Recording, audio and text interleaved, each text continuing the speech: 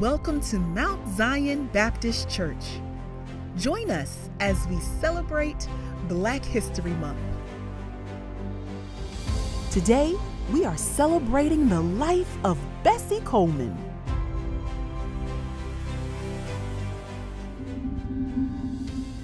Bessie Coleman soared across the sky as the first African American woman pilot. She was often called Brave Bessie or Queen Bess because of the dangerous tricks she performed while flying.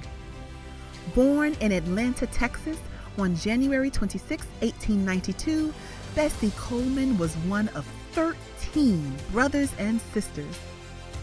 When she was 18, she attended college in Langston, Oklahoma. In 1915, Bessie moved to Chicago and became a manicurist in a local barbershop. Her brothers were serving in World War I at the time, and it was their stories that made Bessie want to become a pilot. She applied to flight schools all across the United States, but no one would accept her because she was African American and a woman. When she heard that women could fly in France, she decided that she would learn French and apply to flight schools there.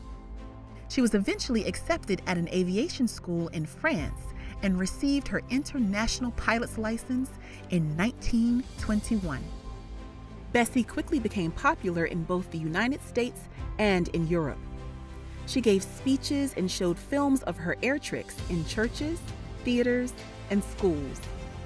She refused to speak anywhere that was segregated or that discriminated against African Americans.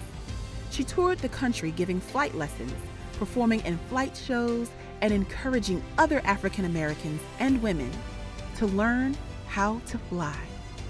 Bessie died in a plane accident at age 34 years old. Her death was heartbreaking for many. Bessie Coleman saw aviation as a way to empower black people in America. Even after her death, she continues to inspire African American women and future pilots to fly even higher than she had ever dreamed.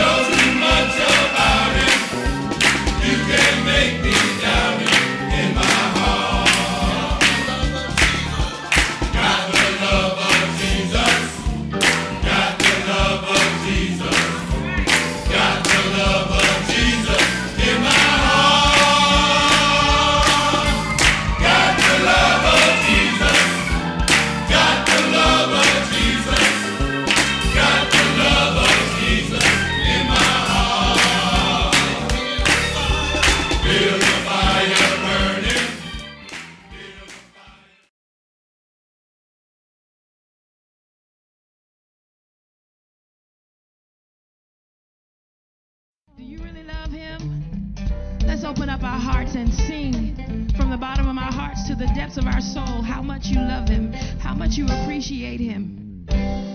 Come on and put a little dip in it. Mm, mm.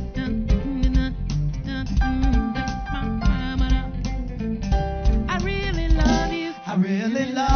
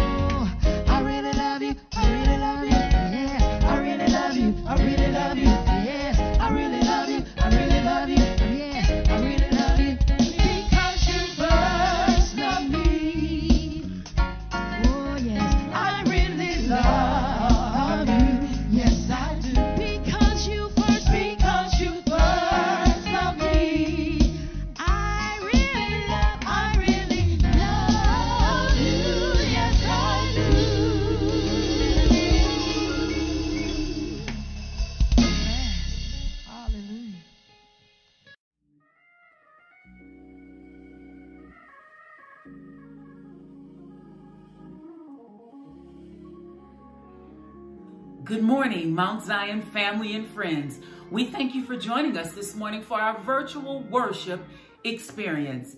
Our call to worship this is the day that the Lord has made, and we will rejoice and be glad in it. Let us pray.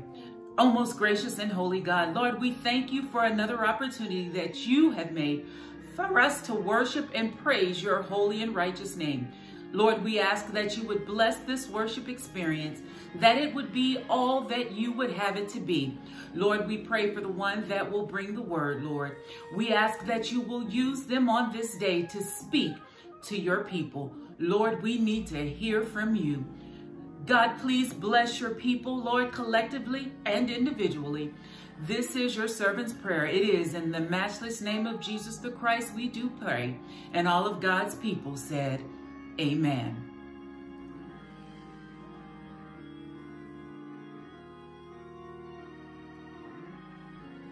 Our sacred scripture for this morning is John 3:16, and I will be reading from the New King James Version of the Bible.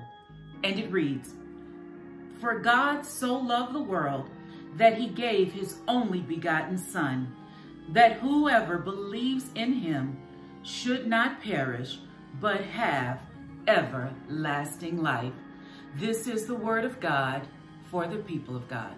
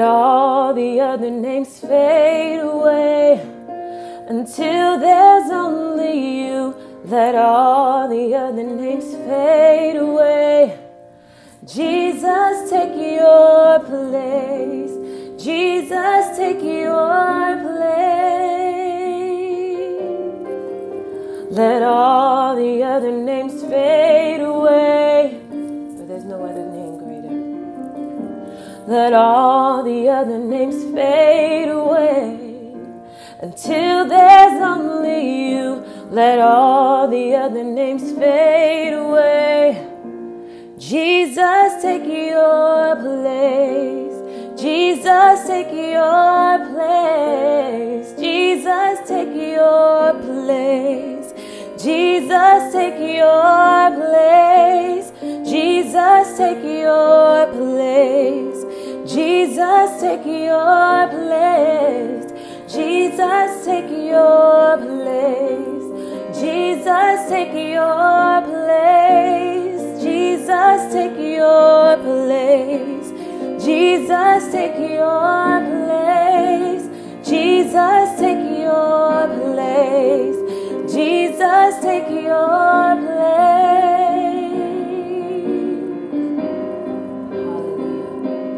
I want to encourage you wherever you are that no matter what you're dealing with right now in this season, be it depression, fear, anxiety, loneliness, hopelessness, loss, suffering, don't give up on God. God is still in control.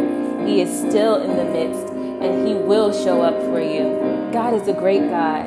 He is a merciful and a gracious God. He will see you through. So be encouraged today that no weapon formed against us shall prosper. We are conquerors in Christ Jesus.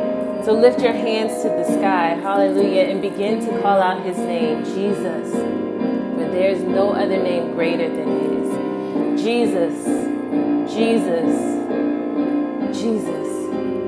Yes, God. Let all the other names fade, God. Let all the other names fade. Let all the other names fade away.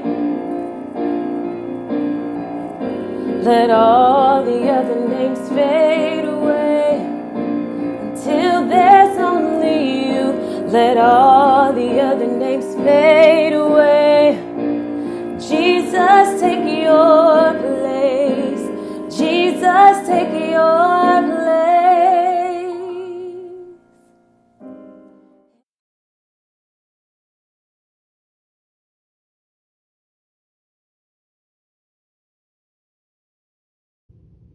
God bless you, brothers and sisters. Thank you so much for joining me today. Today, uh, this new month is February. It's the love month. And so this month, we're going to be talking about love. Um, I want you to please join me in the New Testament as we look together at John chapter 3, verse number 16. And today we're reading from the New King James Version. And there you'll find these words For God so loved the world that he gave his only begotten Son, that whoever believes in him should not perish, but have everlasting life. Well, you know, since the beginning of the year, we've been talking about living in wisdom and the requirements. Well, living in wisdom requires love. So we continue in that same vein. But today,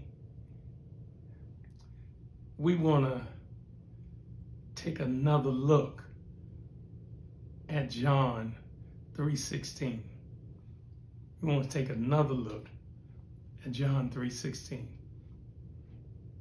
Let me begin by saying I can't even start to tell you how many times during my ministry I've had people say to me, I've heard that sermon before.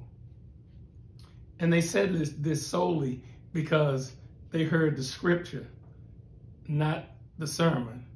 And they think when they hear a familiar scripture, that that means they've heard sermon.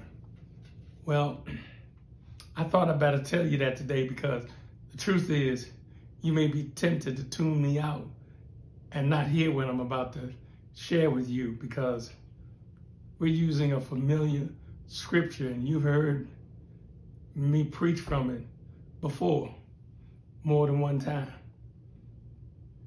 So join me now in John 3 16, New King James Version, and let's take another look at John 3 16, a familiar passage. Let me remind you again you've not heard this sermon before.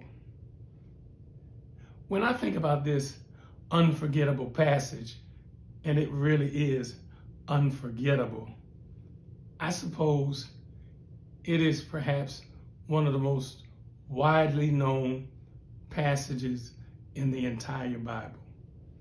In fact, I think every Christian knows this one. And if they don't, they should. It's been called the gospel in a nutshell. Generally because it's a concise summarization of the doctrine of the Christian faith. That's John 3:16. It says, "For God so loved the world that he gave his only begotten son, that whoever believes in him should not perish, but have everlasting life. Now, there are a lot of people who don't give a lot of time to the first uh, portion of this verse. They give most of their time to the second portion. Well, we're going to give all of our time to the first portion, where it says, For God so loved the world that he gave his only begotten son. A lot of times people rush through that sentence to get to that whosoever or whoever, depending on the translation you're reading. I suppose this is so well known that if you just put it up somewhere, as a matter of fact, it was so popular at one time, even pop culture adopted it. Um, you remember when the football player, uh, Tebow, would wear it under his eyes. It was everywhere. There were people wearing t-shirts and everything else because it became very popular for a season. Well, I want you to know it's still popular. It's been popular for 2,000 years and it shall remain. This single verse is one of, if not the most loved verse in the Bible. Therefore, there have been many who have called this a golden text. Well, I don't want to call it a golden text. I call it the platinum text. But that being said, it might surprise you to know that there are a lot of people who still misunderstand and misrepresent this verse, even with all of its popularity and simplicity. But let's see what simple lessons we can glean from this one verse, at least the first part of it. This verse tells us the whole gospel story in one sentence. Let me set the scene on the night that this was shared. On the night that this was presented, this little simple statement, Jesus was having a conversation with a particular Pharisee. His name was Nicodemus. Let me paint the picture a little bit for you. In the text, it's getting late. The shade of evening is falling. And there's a hush over the city of Jerusalem. As on similar days, the residents longed for the evening shade so that they could just get a break from the heat of the day. It's a normal night, but really not so normal when you think about it. Why? There's a man named Nicodemus looking for Jesus. He knocks on the door where he believes Jesus is. Look at him now, trying to get in. Aren't you glad that if you knock, he'll open the door? Well, Nicodemus got in.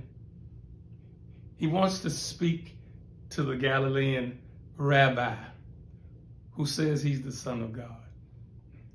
He wants to speak to Jesus himself. This is the scene as Nicodemus pays Jesus a night visit.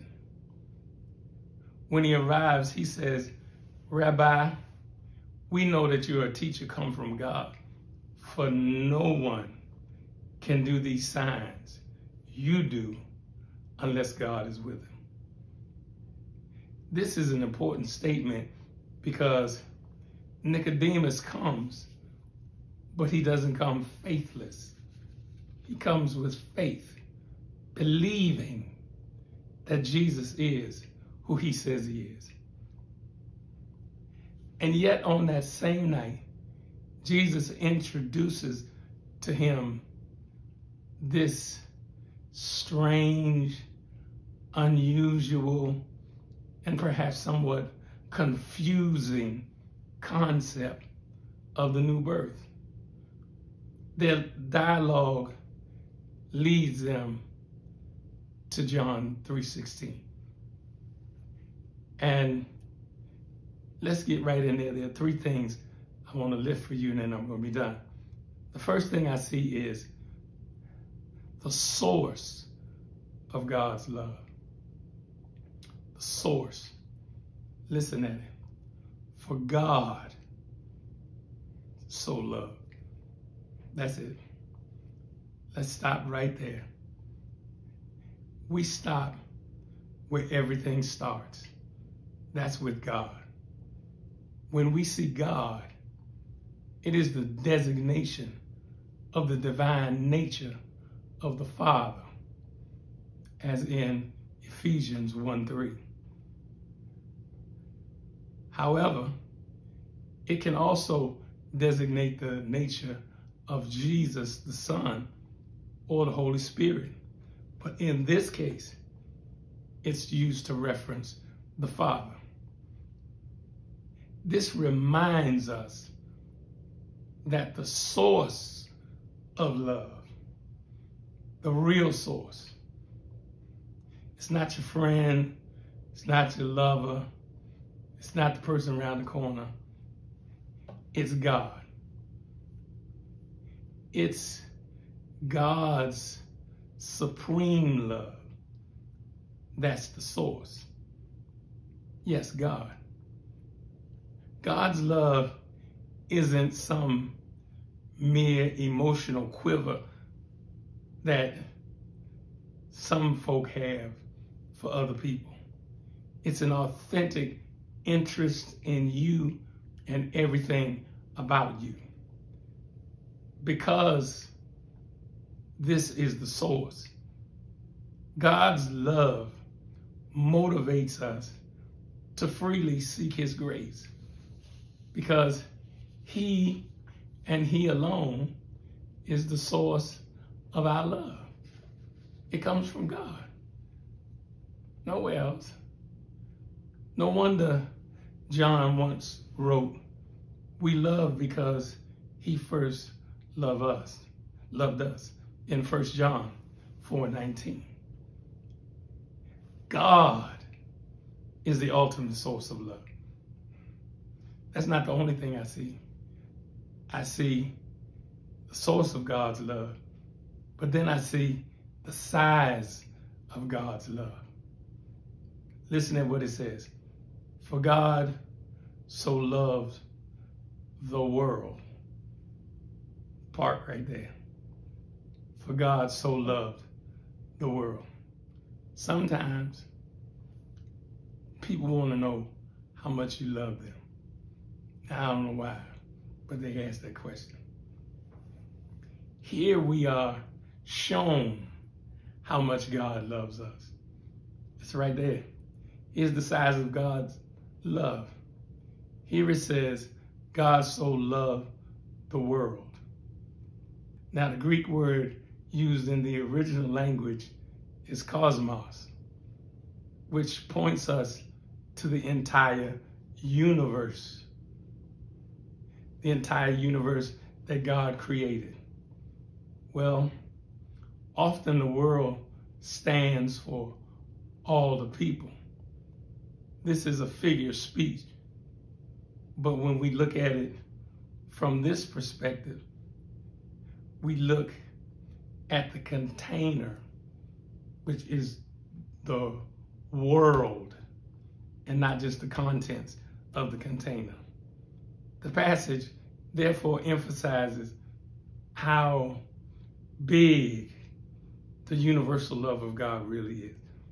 God loves the whole world, and He has enough love for everybody. He wants all to be saved, but He will not force His salvation on anybody but he desires for us to be saved. The love of God is so massive and monumental. No one has to be left out. That's a lot of love. I don't know a lot of people with a lot of love like that. That's big love. And God has big love for you and for me. Nobody has to be left out. Isn't that a great blessing? You don't have to be left out.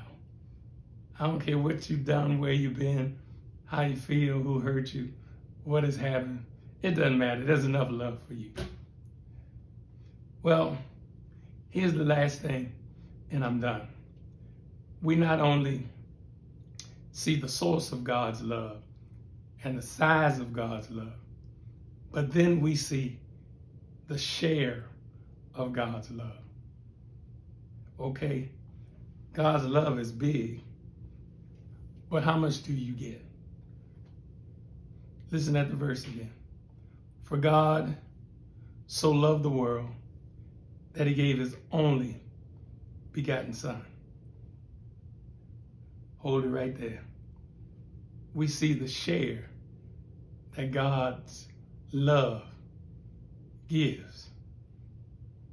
You do remember that an attribute of God is his giving nature. So we see that God love, God loves, but he gives. He gives that love. He has given us life. He's given us gifts. And he's given us his love. God really is the source of all good gifts. And the greatest gift he could ever have given is Jesus Christ. And there's enough Jesus to go around. Seven centuries before the birth of Christ, Isaiah announced, a child is born. A son is given. And Paul says later on, thanks be to God for the unspeakable gift. It's quite apparent that even when a gift is made available, it's not effective unless someone takes the gift. Jesus is that gift, brothers and sisters. Oh, there's a hymn I love. That hymn, He lives, He lives. Christ Jesus lives today. Well, if I could have free license right about now, I'd change the words from He lives to He gives. He gives. Christ Jesus gives today. He gives us a share, enough of his love today and every day. Yes, Jesus gives. Well, let me close now, but I'm going to close with a story. There was a man who uh, went out on a boat with his friends on a lobster trip and he caught 125 lobsters. Yes, I know. It's a lot of money, right? 125 lobsters. When he got home, he had a freezer full of lobsters, more than enough to last him for an entire year. The day after he got his, got a home, he was there, a friend came by and he asked his friend, would you like a lobster? His friend said, absolutely. And the friend was delighted to receive that lobster. The man got so excited about the idea of giving his friend a lobster that by the end of the week, he had called up everybody he knew and given away 122 lobsters. Well, the man ends up with only three lobsters left for himself. He had such a great time giving away lobsters, he didn't even mind that his supply had dwindled down from a year supply to just a meal. A few days later, he went into his garage and he was attacked by an awful smell. When he got out there, he followed his nose to his freezer and he opened it up and he discovered the electricity had gone off and his remaining three lobsters had spoiled, rejected, no good. And as he cleaned up his mess, he was feeling a little sorry for himself. But then he remembered all the lobsters he had given away. And it gave him great joy. If he hadn't shared the bounty that he had, all of it would have been wasted. But because he was willing to share, it didn't go to waste. Well, brothers and sisters, God's got enough love to share so it doesn't go to waste. Thank God today. Just another look at John 3.16. Simply because living in wisdom requires love.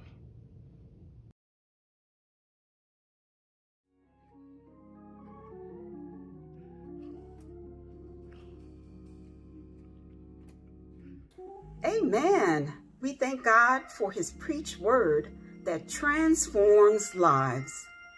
We were truly blessed today, and we pray you will remain with us for a very important part of this service, and that is the invitation to discipleship. This is a very special opportunity for you to accept the Lord and Savior Jesus Christ and to become one of his followers. Brothers and sisters, God allowed his only son to die a painful death so that we can live. I promise you, you do not want to live in this world without Jesus Christ.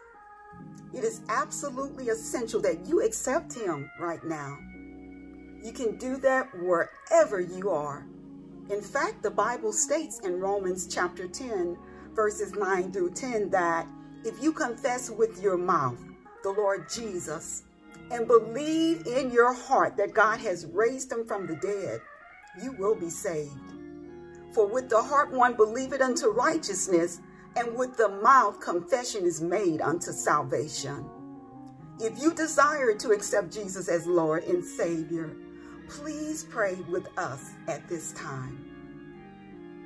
Heavenly Father, I come to you admitting that I am a sinner. Right now, I choose to turn away from sin, and I ask you to cleanse me of all unrighteousness. I believe that your son, Jesus Christ, died on the cross to take away my sins. I also believe that he rose again from the dead so that I may be justified and, may, and be made righteous through faith in him. I call on the name of Jesus Christ to be the Savior and Lord of my life. Jesus, I choose to follow you and I ask that you fill me with the power of the Holy Spirit. I declare that right now I am a born again child of God. I am free from sin and full of the righteousness of God. I am saved in Jesus' name. Amen. If you prayed this prayer with me and you were not saved, please be assured that you are saved. And we warmly welcome you into the body of Christ. If you are interested in uniting with the Mount Zion Baptist Church, please call us at 703-979-7411. You may also send an email to info at mountzionbaptist.com. Again, if you are interested in uniting with our fellowship or need additional information, please give us a call at 703-979-7411 or send an email to info at mountzionbaptist.com. Peace and blessings unto you.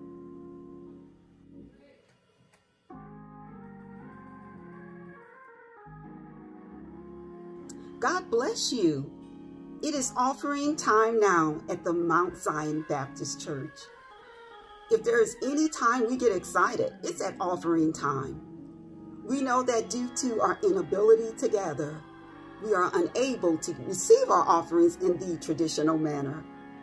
However, we invite you to take advantage of this opportunity to give today. There are four ways to give to the Mount Zion Baptist Church. First, you may give via the Easy app on your cell phone. You can easily download the app to your smart device to give. Second, you may text to give via the Easy Tithe app by calling 703-372-9244. Again, you may text your offering to 703-372-9244. Third, you may give online by visiting our website, mountzionbaptist.com. Click on Online Giving, then click on the Easy Tithe logo to give. That website again is mountzionbaptist.com. Click on Online Giving and click on the Easy Tithe logo to give online. Lastly, you may give by mailing your tithe and offerings to the Mount Zion Baptist Church, P.O. Box 6216, Arlington, Virginia 22206. Again, you can mail your tithe and offerings to the Mount Zion Baptist Church, P.O. Box 6216, Arlington, Virginia 22206. Remember, although we are unable to meet traditionally, the need for your gift remains. Any way you bless the church, we will be satisfied. God bless you, and thank you so much for your support. We appreciate your giving and generosity to God's work. Let us pray. Father God, in the name of Jesus, we thank you for enabling us to give and to support this church. Bless each giver and the offerings received. Direct our priorities as we strive to accomplish your work. Give us wisdom and empowerment to be good stewards of the tithe and offerings received so it advances the kingdom of God fruitfully. Amen. Again, thank you for your generosity to the Mount Zion Baptist Church.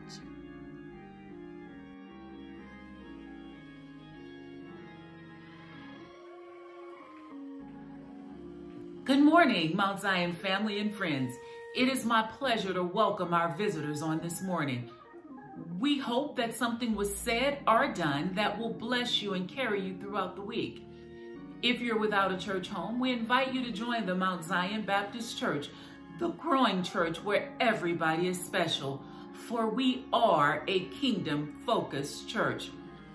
To learn additional information about our church, please visit our website at www.mountzionbaptist.com.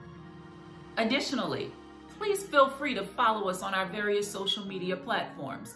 You can find us on YouTube, Facebook, Twitter, and Instagram.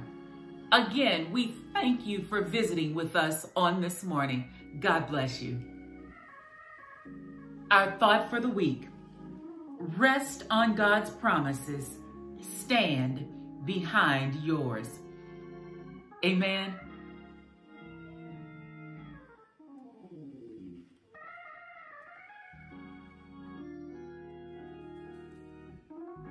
Good morning, Mount Zion. My name is Chauncey Strong, and I'm here with my lovely wife, Stephanie Dula Strong. And we want to invite you to join us next Sunday for Marriage Emphasis Sunday. Hey, that falls on Valentine's Day. All right, that's great. And listen, so uh, we want to invite you to join us as we celebrate uh, marriages. And our theme for this year has been uh, keeping your marriage strong even during the pandemic. And our speakers for the hour will be our very own Minister Merrick Deans and his lovely wife, Reverend Tiffany Smith Deans. Yes, so we are inviting you all. Please come join us for the 10 o'clock service. Uh, and not just uh, you, uh, invite a married couple that you know to be a part of this service as well. So we look forward to seeing you, uh, to see what God has to say to us during this pandemic on how to keep our marriages strong. See you next Sunday. Take care, Mount Zion. Bye. Bye bye.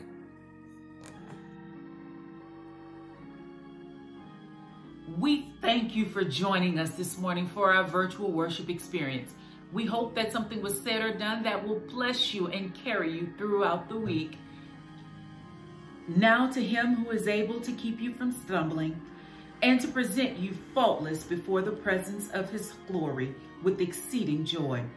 To God our Savior, who alone is wise, be glory and majesty, dominion and power, both now and forever. In Jesus' name, amen.